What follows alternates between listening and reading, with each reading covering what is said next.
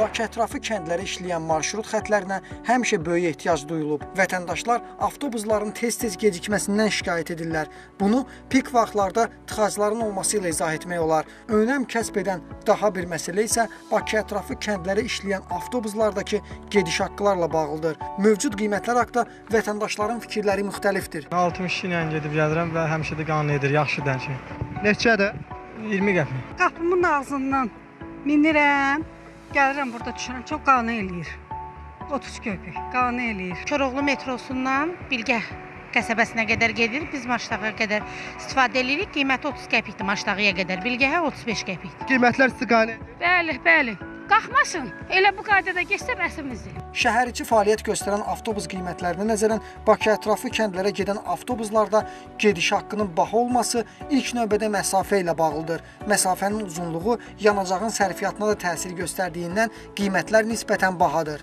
Amma səbəb təkcə bu deyil. şəhər içi avtomobilin istismarına daha az ziyan dəyirsə, e, deyək ki, Bakı kəndlərinə, Bakı ətrafı qəsəbələrə gedən nəqliyyat vasitələrinin görürsüz ki, yolların bərbad vəziyyətdə olması və digər səbəblərə görə ziyanı daha böyük olur. Avto ekspert Elməddin Muradlı hesab edir ki, sərnişin daşıma sahəsində keyfiyyətin aşağı düşməməsi üçün qiymətlərin bu cür tənzimlənməsi vacibdir. Sərnişinləri düşünərkən sərnişin daşıma fəaliyyəti ilə məşğul olan e, hüquqi şəxsləri də düşünməliyik. Çünki məsafəyə qədər yanacaq və yol xərcləri doğrudan da çox olur.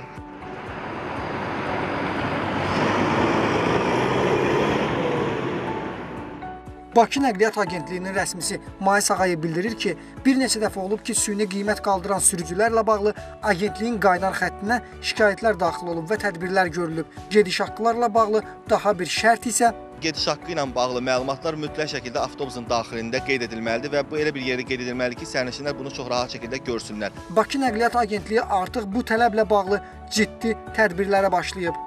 Bakı Nəqliyyat Agentliyinin birbaşa nəzarəti altında artıq bütün marşrut xəttləri üzrə hərəkət edən avtobuslarda müəyyən olunmuş qiymətlərin e, yazılması e, təmin edilmişdir. Gediş haqqı 25-35 qəpik olan avtobuslarda sürücülərin 5 qəpiyi qaytarmaması ilə bağlı şikayətlərə gəlincə, mütəxəssislər bildirirlər ki, bu problem həmin avtobusların kart sisteminə keçirilməsi ilə həll edilib. Hər halda gediş haqqıların mövcud vəziyyətini əsaslandıran faktlar göz qabağındadır. İnanırıq ki, gələcəkdə artım gediş haqqılarda deyil, Bakı ətrafı kəndlərə işləyən avtobusların keyfiyyət səviyyəsində olacaq.